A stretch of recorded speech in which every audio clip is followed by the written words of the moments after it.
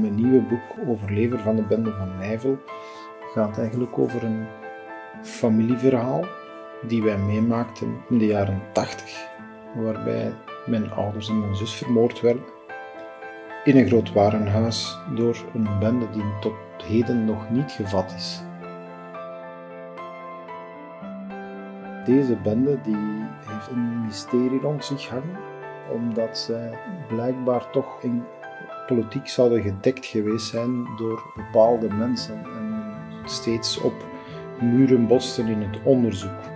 En dat onderzoek dat duurt nu al 30 jaar.